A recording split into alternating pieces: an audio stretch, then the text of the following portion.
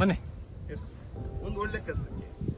ಶ್ರಮ ಕೊಟ್ಟು ಶ್ರಮ ಹಾಕಿ ಭಕ್ತಿಯಿಂದ ಹೊರಟ್ರೆ ಒಳ್ಳೇದಾಗುತ್ತೆ ಅನ್ನೋದಕ್ಕೆ ಈ ಥರದ ಮೆಟ್ಲುಗಳು ಅಲ್ವಾ?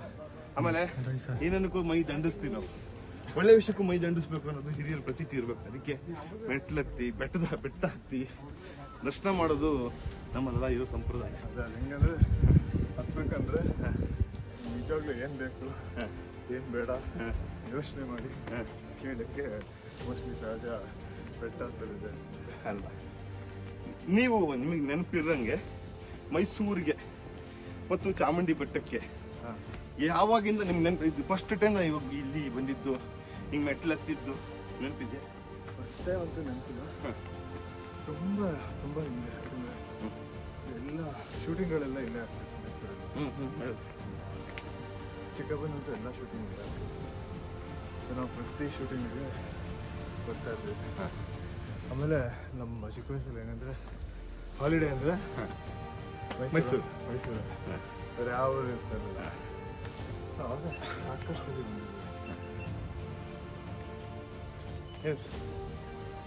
ಹೌದಾ?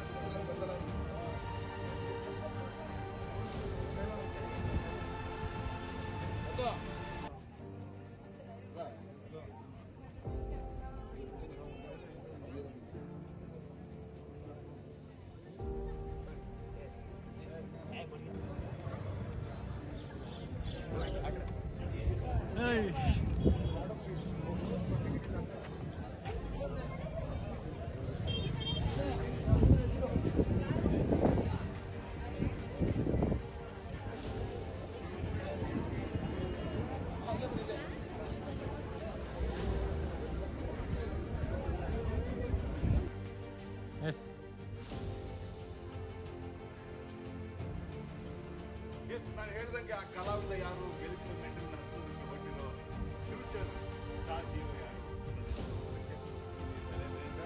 ಮೆಟ್ಲು ಹನ್ನೂರು ಮೆಟ್ಲು ಒಂದು ಐತಿಹಾಸಿಕ ಮೆಟ್ಲು ನಾನು ತಿರುಗಿಸ್ತಾ ಇದ್ದೀವಿ ಪುರಾಣ ಪ್ರಸಿದ್ಧವಾದ ದೇವಸ್ಥಾನನ ನೋಡ್ತಾ ಇದ್ದೀವಿ ಮೊದಲನೇದಾಗಿ ಸರ್ ಯಾವಾಗಲೂ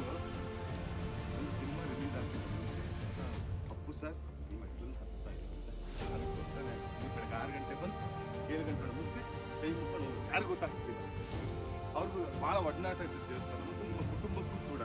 ಚಾಮುಂಡಿ ಬೆಟ್ಟ ಚಾಮುಂಡಿ ತುಂಬ ಏನಾಗಿದೆ ಇಲ್ಲಿ ಅದೇ ಮೈಸೂರು ಬಂದಾಗೆಲ್ಲ ಸುಮ್ಮನೆ ಆದರೂ ಸುಮ್ಮನೆ